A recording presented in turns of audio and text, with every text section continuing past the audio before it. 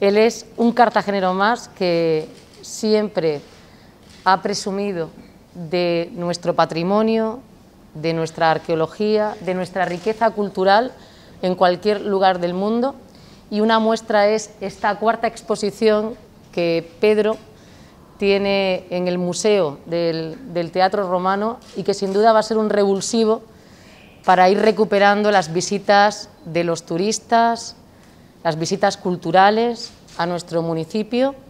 después de haber hecho los deberes durante este año tan complicado,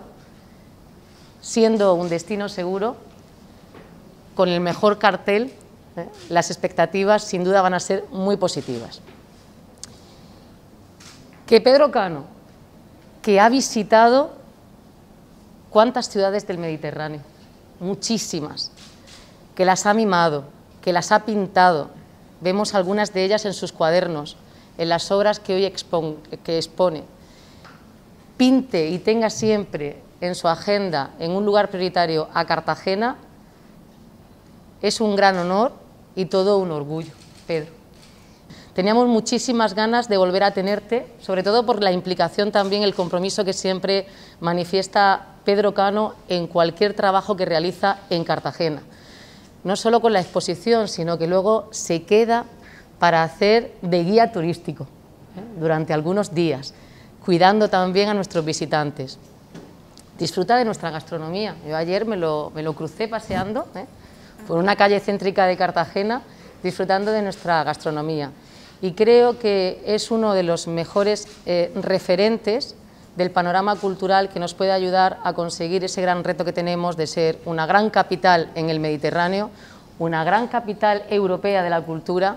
y me atrevería a decir en nombre eh, de todo el gobierno municipal que ya te queremos fichar para ser uno de los embajadores para conseguir esa candidatura del Patrimonio Mundial de la Humanidad.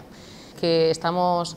pendientes de que se inicien los procedimientos para saber eh, qué cantidad se va a destinar de los fondos europeos a la comunidad autónoma, también a los ayuntamientos. Nosotros desde el ayuntamiento hemos presentado 30 proyectos por un importe aproximado de 300 millones de euros y uno de ellos tiene una línea discursiva que es recuperar precisamente el pórtico del Teatro Romano, sus jardines, el potencial, porque además el proyecto, la primera fase está hecha, la directora lo ha diseñado, lo ha preparado todo para que tengamos la memoria de las tres fases, pero una primera fase ya tiene el proyecto y por tanto se podría ejecutar prácticamente de inmediato. La finalidad es conseguir esos fondos europeos para reactivar eh, la campaña de excavación y la, continuidad del proyecto del, Museo del Teatro Romano, pero también en ese proyecto les adelanto que lo que hemos planteado es recuperar también los jardines de la Plaza de la Merced y del Huerto de las Bolas. Ojalá, cuando tengamos respuesta por parte del Gobierno de España, encaje dentro de los ejes estratégicos y podamos actuar tanto en el pórtico como en el resto de los jardines separados por 2.000 años de historia. Para Cartagena es importante. La verdad es que no se me ocurre otro lugar, otra ciudad más que Cartagena en la que poder iniciar esta exposición. No se me ocurre otra ciudad más importante, más que Cartagena, en la que uno de los artistas contemporáneos más importantes de España, como es Pedro Cano, puede iniciar esta exposición, 16 eh, obras de 16 teatros del Mediterráneo, eh, Palmira, Roma, Atenas, Málaga, Mérida y por supuesto uno de los protagonistas, el Teatro Romano de Cartagena. Y creo que todo el que venga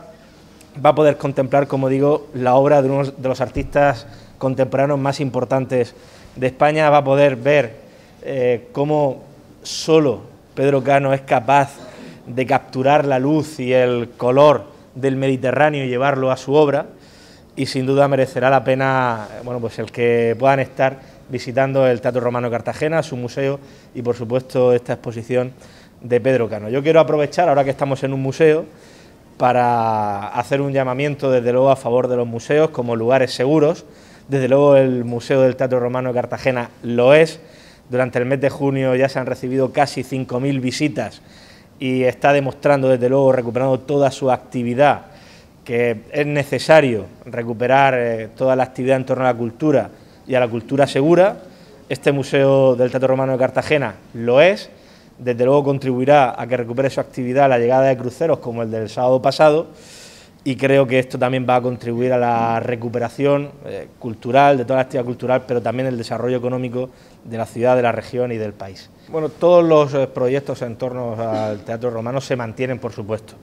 Es cierto y sé que no se les escapa que los últimos 15 meses han sido excepcionales y por lo tanto hemos tenido que aparcar proyectos eh, que entendíamos prioritarios porque la prioridad era salvar vidas y gestionar la pandemia. Pero por supuesto que se van a retomar todos los proyectos del Pórtico, por supuesto que también, hoy también se ha hablado de eso, ese y otros muchos proyectos eh, que están en cartera y que vamos a iniciar lo antes posible. Y eh, dentro de esos proyectos, desde luego la alcaldesa también ha dado eh, cuenta de la intención de optar a los fondos europeos Next Generation por parte del ayuntamiento, que ya podrá dar más detalles también, desde luego, para abordar proyectos que, que afecten al Teatro Romano de Cartagena. Este es un espacio especial y bueno, yo diré que la exposición es muy sencilla, pero ha necesitado de muchísimos años para que vea la luz. Yo empecé trabajando en estas historias de los teatros del Mediterráneo siempre cuando iba en mis viajes a una ciudad del Mediterráneo que tenía un teatro. Algunos de ellos los conocía, pero sin